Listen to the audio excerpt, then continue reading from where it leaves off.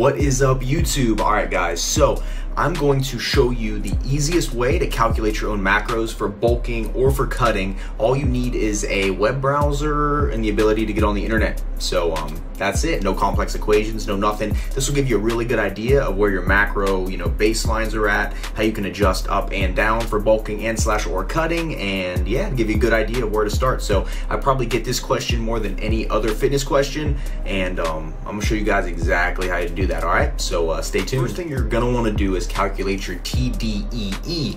What that is, is your total daily energy expenditure. Now, to put it into um, layman's terms for that, that is basically the amount of calories it requires you personally daily for you to stay the exact same weight. So if you're sedentary or if you work a construction job, you know, age, weight, height, they all play a key role in this. And figuring that out is where you want to start at. So I am on a website called iifym.com.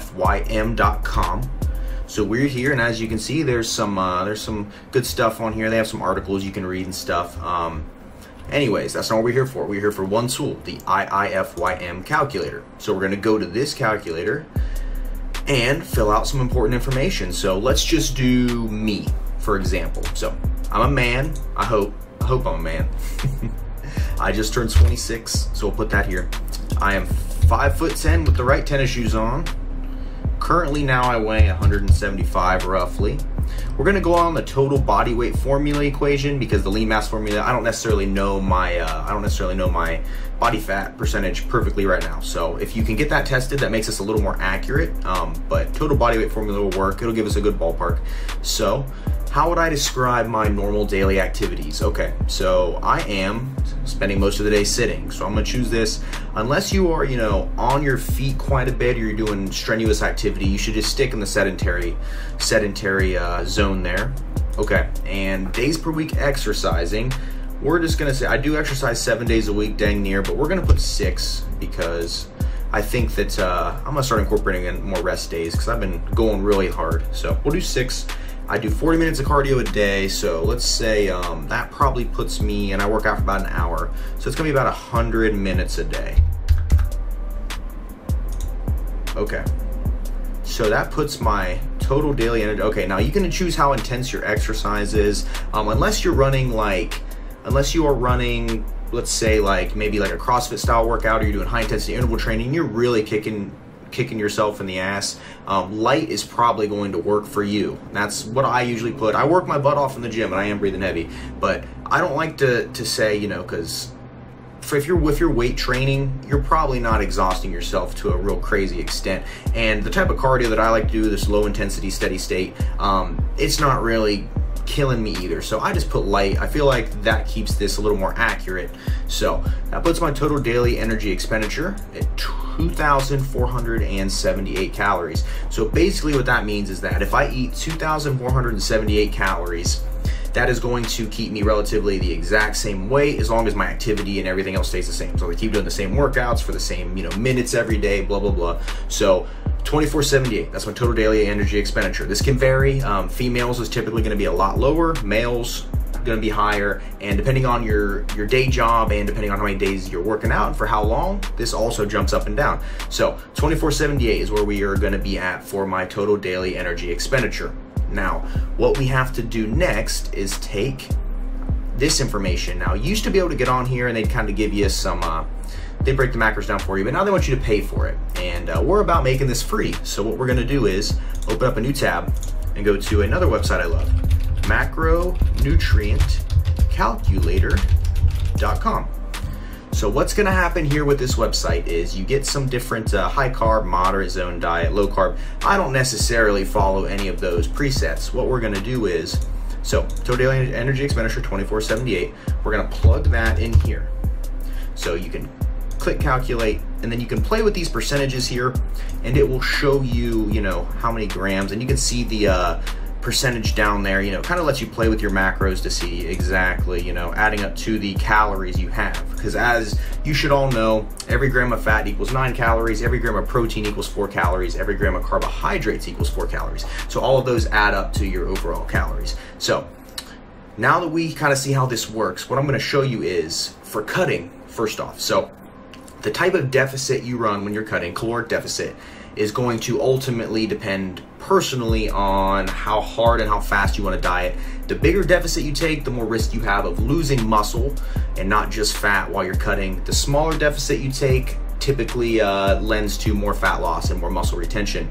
So, what we're gonna do here. Typically, what I advise for people, um, unless if you're already pretty lean, a 300 to 500 calorie deficit is gonna be perfect. Um, if you have a lot of extra body fat that you are currently holding on to, I suggest usually between, you know, a you can go a little higher with your deficit. So you know, six, seven hundred deficit. I usually don't recommend men go below 1500 calories a day because that's kind of the danger zone. Um, women typically is around, you know, no less than 800 typically. Um, there's some rare cases where you might need to go lower than this to get lean enough for like a contest or show or whatever. But um, for the most part, that general rule of thumb is pretty good. Um, so for me, let's say right now I'm cutting, so I could put my, we'll subtract 500. We'll go, you know, we'll err on the safer side of things. 1978 calories. So we're gonna calculate that. Boom. So this gives me some new macros. Now, you can adjust these sliders and it's gonna tell you exactly exactly, you know, what the macros you want leading up to the calories. So I typically recommend um, body weight times 0.4 for fat intake, da da da. Um, but what I found my sweet spot is is around 55 grams of fat. So we're gonna keep that there. And we want protein to at least be one gram per pound of body weight. That's gonna ensure we hold on to muscle. I like to go a little more than that, maybe like 1.2 or 1.3 because I feel that when I am dieting, that really helps me. I can kind of crank my deficit up a little bit, and that helps me hold on to as much muscle mass as possible. So we'll go in here. Let me take my protein right now is typically around 232 grams a day. So we're gonna back carbs up until we hit that 100% mark. And voila. So here we go. At 1978 calories, that gives me a 500 calorie deficit. 500 calories times seven days a week adds up to 3,500 calories, which is the exact amount of calories that's in one pound. So this has me set up to lose one pound of body fat per week if I follow this exact macronutrient guideline. So that's the MyFitnessPal that comes into play, weighing your food, all that stuff. Um, but basically, if I followed these, I would lose one pound a week. Now you can get a little crazier with it if you want to lose more weight. Um, like I said, I don't, I don't recommend men going below 1500 but, you know, I could take this down to, let's say, 1678, make my deficit a little more, and then boom, we'll pick our fats back up to 55, because you want to keep in mind that your fat, you want to keep it, at least for men, above, above 50 grams usually, per my recommendation, just because fat, dietary fat is responsible for so many things. responsible for testosterone production. It's responsible for just overall hormone production all around, like your leptin hormone, which is causing you to burn fat. Like you have to have fat for so many bodily processes. So you got to get that in there. I always recommend at least 50. I go a little bit above that just to be uh, on the safe side. So we'll see 56 here. Up our protein to about 227, back carbs down. Bingo. So this is a little closer to what my low carb days are looking like now that I'm carb cycling. This is what my macros are more like on those low carb days. Uh, but yeah, you can play with this and figure it out. Now, let's go back to baseline. Was it 1978, I believe? Let's look. Okay, 1978 was, oh, I'm sorry, 2478 was my total daily energy expenditure. So, boom, we'll reset that now bulking macros. If you want to calculate your bulking macros, you take that exact same total daily energy expenditure or TDEE, and then what you want to do is now your bulk you can your bulk can be as aggressive as you want it to be. Now the higher over, you know, I usually recommend if you want to lean bulk, you're going to go between 300 and 500 calorie weekly surplus. That'll ensure you have the adequate nutrients to put on good muscle and you're not really spilling over and putting on too much fat. Um, my last bulk though was a little crazy and I did over 4,000 calories a day. Put on some good size, but put on a lot of fat too. Took me a while to burn it off. If you've been following me for a while, you have kind of seen my transformation and seen what exactly all uh, took place during this. But um, if you haven't, it is what it is. So um, let's say, let's go on the higher side of the lean bulk, 2978. Boom. So here we can play around a little bit. We're not as worried about body composition, and it's not necessarily having really high protein isn't necessary as much either, just based on the fact that we're gonna have enough nutrients our body's not gonna go to our muscle ever for energy. So we will take this protein. Now I like to stick a little closer to one gram per pound of body weight on a bulk So let's say, you know, but and you got to keep in mind, so you're to gain weight on a bulk. Um, so right now I'm 175. If I switch to bulking, I'd probably rebound weight pretty quickly just because my body, uh, my body would want all the nutrients I've been lacking for a while. I'd want that nutrition. So um, let's just go. I'm 175 now. We'll just set it at 186, just knowing that I'd probably rebound some water weight from the glycogen replenishment and stuff like that. Um, we'll keep fat around. You still don't want to take dietary fat too high. I usually don't recommend men go over 120 grams of dietary fat a day, even on a bulk, just because you want the majority of it to become from carbohydrates, as this is going to give you the greatest recovery, full muscle glycogen replenishment, all that good stuff. And, you know, dietary fat doesn't make you fat, but too much of it will certainly contribute. So we're going to keep fat around. We'll do 86 grams. 186. Okay, so the rest we fill in with carbohydrates. Now this is where the fun happens. Watch those grams go up, up. All right, so if I was lean bulking, which I will start this here soon, I'm probably gonna stay lean for a few more months and I'm gonna start lean bulking. But here we go. Now you can see here that 86 grams of fat, 186 grams of protein, and 365 grams of carbohydrates. Lord help me, if I had these macros right now, I would just go go nuts. I would, I would love this, but uh, you know, it ain't bulking season yet. It's still summer, so we are we are still hanging out in lean zone. So yeah, same principles apply with bulking, except you're going the other way. Now, this would be the the higher side of a lean bulk. You know, some people have different uh, strategies when it comes to bulking. I do believe the lean bulk, if you're trying to stay lean, doing it this way is probably the safest method. Um, you can still have like one cheat meal a week or so, stay pretty on point. You're not going to gain too much fat. And in the event you do, you can do a mini cut, drop it off real quick. Um, now, if you want to put on as much size as possible in the shortest amount of time, you want to increase your you want to increase your calories quite a bit. So um, depending on your body weight and stuff, this this will vary depending on the individual and how much you can tolerate. Some people just don't have the appetites to eat 4,000 plus calories a day. I do. I could eat 10,000 a day probably because I'm a freaking monster when it comes to eating. So let's take, for instance, so we have a 500 surplus. Let's just jump us up here. Let's do a thousand calorie surplus. That puts us at 3478, right? Calculate. Boom. So that puts us here. We'll take our fat back down and then we have a little more room for protein now.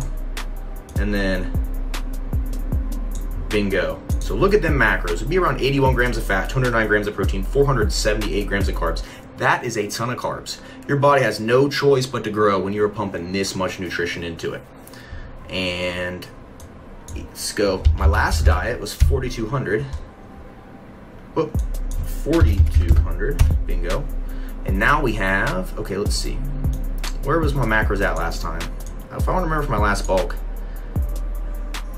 it was somewhere around here. 107 grams fat 231 grams protein 578 grams carbs.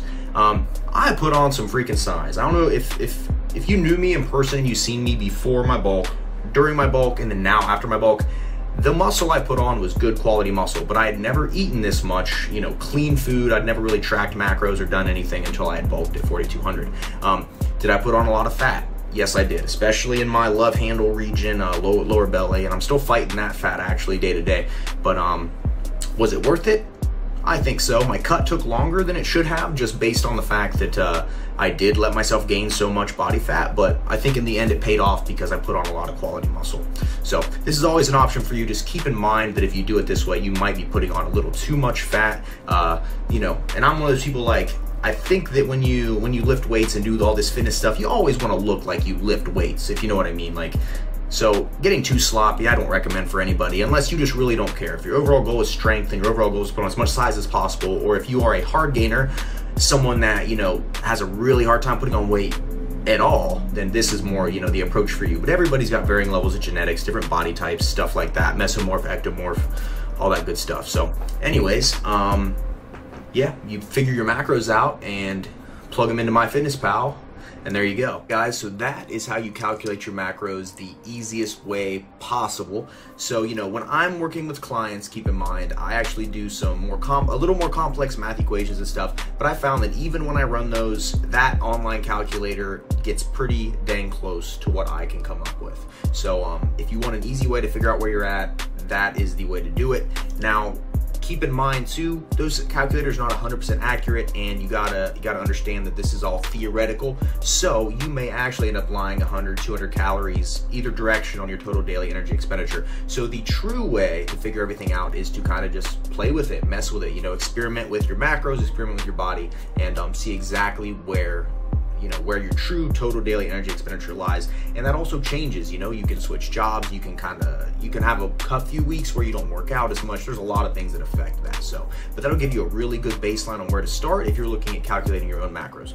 Anyways guys uh this was the first time I've done any sort of video like this, and boy, was it a hassle to get all this stuff set up. But worth it in the end, I think. So if you like this style of video, let me know. I can do more like this, and I can kind of, you know, give you guys some some more lessons, so to say, on fitness, nutrition, all that. Um, I, I like these because I feel like we get to talk, we get to connect, you get to kind of just see me in my natural habitat, if you know what I mean.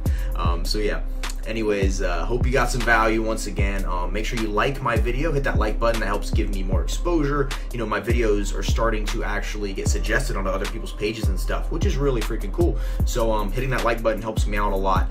And um, also to be sure to comment below and let me know if you liked the video. Anyways guys i will talk to you later. Thank you so much for all your support as always and uh, have a good day guys. See ya